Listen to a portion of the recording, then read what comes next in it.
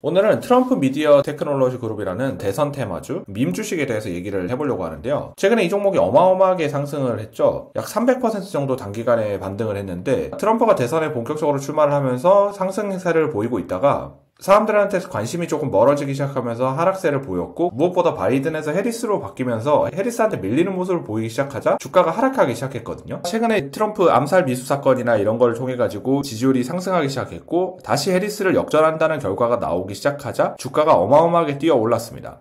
한국에도 대선 테마가 있듯이 미국에도 이런 대선 테마가 있긴 있는데요. 보통은 그 정책에 따라서 신재생 에너지나 금융주 이런 애들이 스무스하게 움직이는 경향이 있는데 이거는 딱 정확하게 한국의 정치 테마주하고 같단 말이에요. 이제 미국 대선이 얼마 남지가 않았거든요. 11월 5일까지인데 크게 수익을 보시고 계신 분들도 있을 텐데 개인적인 생각에서는 슬슬 처분해야 될 때가 아닐까 싶습니다. 저라면은 오늘이나 내일 중에 무조건 정리를 할 것 같아요. 거래일로 따져도 한 3, 4일밖에 남지가 않았거든요. 여론조사 결과를 보여주는 사이트인데요. 바이든 후보였을 때는 트럼프가 크게 앞서 나 나오고 있다가 바이든이 사퇴한 이후에 해리스가 급격하게 올라오면서 역전당하는 모습을 보였습니다. 그러다가 최근에는 이제 트럼프가 다시 역전한 모습을 보이고 있는데요. 0.2%로 큰 차이가 아닌 것처럼 보이지만 미국 같은 경우에는 우리하고 다르거든요. 우리는 전체 표에서 한 표라도 더 많으면 이기는 거지만 미국 같은 경우에는 주마다 선거인단이 배치가 돼 있어서 주에서 이기게 되면은 그 선거인단을 모두 가져가게 되는 겁니다. 예를 들어서 캘리포니아 같은 경우에는 54명의 선거인단이 있기 때문에 캘리포니아에서 이기게 되면은 54명이 모두 자신의 표가 되는 거죠. 그래서 0. 0.2%밖에 차이가 나지 않았지만 현재 주마다 승패를 따져보면은 해리스가 241명, 트럼프가 297명으로 트럼프가 크게 압승할 것으로 보여지고 있거든요. 이렇게 트럼프가 압승할 거라고 생각을 하는데도 불구하고 조만간 정리를 해야 된다고 생각하는 거는 트럼프 미디어 테크놀로지라는 기업이 트럼프가 만든 기업으로 자기들만의 SNS를 만들고 그걸 운영하는 기업인데 실제로 수익은 나지 않는단 말이에요. 물론 강성 지지자들이 계속해서 쓰면서 나중에 흑자가 발생할지는 모르겠지만은 트럼프가 요번에 당선이 된다고 할지라도 하더라도 미국은 이제 수정헌법 22조에 따라서 대통령은 중임까지만 할 수 있거든요. 두 번만 할 수 있다는 뜻이에요. 트럼프가 이번에 당선되고 나면 다음번에 나올 가능성이 없어지는 거죠. 그렇게 되면은 트럼프에 대한 관심 때문에 사들였던 이 종목이 순식간에 관심이 사라질 가능성이 높습니다. 더 이상 기대할 만한 것들이 없으니까요. 정치 테마주라는 것들이 원래 그렇거든요. 사실 트럼프가 당선된다고 해서 이 기업에 뭐 특별히 좋을 게 있을까요? 뭐 그럴 건 없을 거예요, 별로. 인기가 좀 더 올라가서 SNS가 좀 더 활발해질 수는 있겠지만 그 정도 차이 때문에 뭐 주가가 300% 날아가고 이럴 필요는 없다고 생각하거든요. 이런 밈 주식 같은 경우에는 단순히 사람들의 관심으로 이루어집니다. 어쨌든 주가는 단기간에 유동성에 의해서 움직이는 거거든요. 강하게 매수가 들어오면 상승하는 거고 강하게 매도가 나오면 떨어지는 겁니다. 그렇기 때문에 이 대선이라는 이벤트를 앞두고 트럼프가 이길 거라는 것에 베팅을 하기 시작하면서 이 종목이 천정부지 뛰어오른 거죠. 막상 결과가 나와서 트럼프가 이긴다고 해도 본전이고 트럼프가 만약에 져버리면은 어마어마하게 하락하면서 시작을 해버리겠죠. 그렇기 때문에 굳이 결과를 볼 이유가 없는 거예요.